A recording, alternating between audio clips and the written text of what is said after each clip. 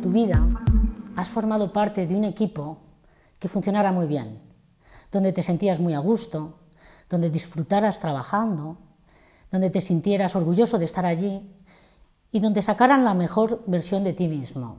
Miren de donde miren a nuestro equipo, verán lo mismo, verán un grupo de personas alineadas en torno a unos valores y a unos objetivos en ambos casos compartidos. Tener a una persona enfrente que es capaz de escuchar, de asentir con la cabeza, de darte un feedback, de no juzgarte con aquello que le estás contando, permite que te relajes y que generes un vínculo de confianza con esa persona. Lo que suele suceder es que cuanto más importante es la conversación, peor lo hacemos. Solemos fastidiarla cuando la conversación deja de ser normal y corriente.